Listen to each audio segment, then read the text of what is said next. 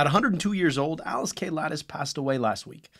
Now, you probably know her better for her book, 1982's The G Spot. Abdul, I'll say it here before I go on. Make sure to like, subscribe, hit the little bell so you never miss our content. Alice K. Ladas, you probably never heard of her, but you've probably heard of the title of her book that you wrote in 1982, The G Spot. And it was about, well, the G spot. Per Ladas, that is a space on the anterior side the vagina, right under the pubic bone, that is intensely innervated and a source of sexual pleasure in people with vaginas. Now, why do I say all this?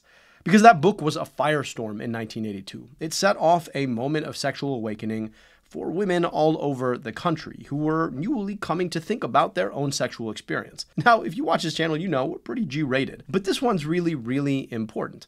Because we often think about sex as disembodied from the rest of a human being. In fact, I think that's part of the problem with the way that our society takes on sex. We don't think about it as part of a whole human experience, but rather, too often, the things that sexualize people also objectify them. And this book was unique because it actually forced society to reckon with the fact that sex is not a one way act. It takes two people to have sex, and too often, when one of those people has a vagina, their experience is fundamentally discounted. Now, on a channel that focuses on the relationship between health and society, what's sex got to do with it? Well, a lot. We know that a fulfilling sexual life is associated with better physical health, better mental health. People who have good, rewarding sex in a safe and uplifting way tend to rate their quality of lives as being substantially better because, well, sex is good. And you gotta imagine what it means when a full half of the population's sexual experiences are basically forgotten. Instead, when it came to sex, we always thought about it as being about men.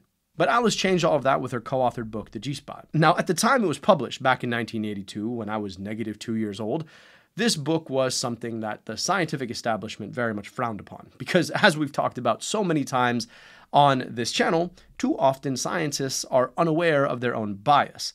They argued that Ladas's book had no evidence behind it, since the scientific evidence is pretty clear that there is probably something called a G spot. Now, it differs in where it is, how large it is, and the intensity of the sexual experience that it can promulgate.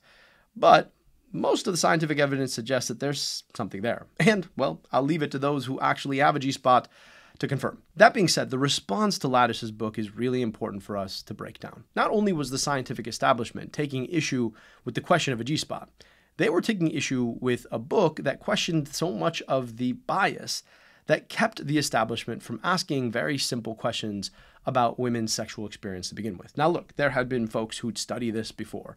You have Masters and Johnson. Their research was conducted back in the 60s. But there haven't been many people who've actually studied sex.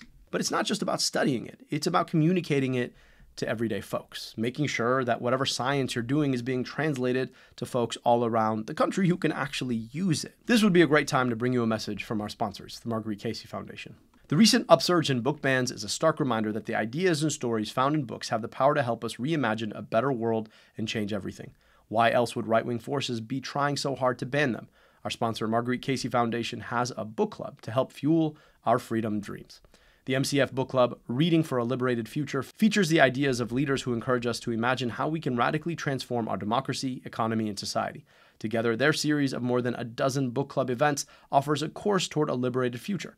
Sign up for the MCF Book Club and check out their recent event in honor of the newly released book, Let This Radicalize You, Organizing and the Revolution of Reciprocal Care at caseygrants.org slash book dash club. Now, as the Marguerite Casey Foundation Book Club reminds us, books are really powerful.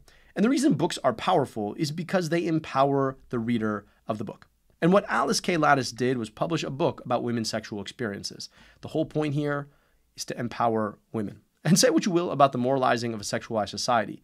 I think we're all better off if people understand their own bodies. They understand how to use them. And so pushing back against a book that empowers people to understand their own physiology and what they should expect out of a sexual experience says a lot about your priors going into that conversation. And too often, our priors suggest that there's a double standard about conversations about sex and about who gets to enjoy sex depending upon physiology. But what Alice Ladas did was write a book to change that balance of power. We could use a lot more changing of that balance of power because it's not just women's sexual health that tends to be ignored. I want you to think about all of the different ways that our physiology changes the kind of healthcare that we can expect. You think about access to period products. The first time that somebody's reproductive organs start to do the thing that they do and start to bleed as a function of it, we're not right there empowering them with an understanding of what's happening and the products that they need to be able to maintain their dignity through the experience. We talked about the experience of sex itself, but think about the experience of pregnancy. Too often, people in our society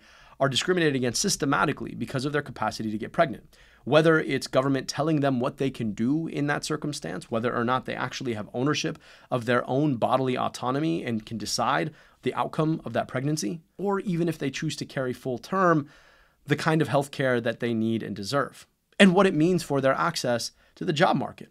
Think about it. We don't have paid family leave in this country. We don't invest in children, which, by the way, are the outcome of a pregnancy. And guess who that falls hardest on? The people who had to carry the pregnancy in the first place. All of that suggests that we do not invest in people with vaginas, fundamentally, let alone when we think about the upside of having one, the sexual experience. And then you think about the experience of menopause. When all of that physiological machinery shuts down, we have failed fundamentally to invest in a full suite of healthcare products that empower people to address their symptoms in a dignified way.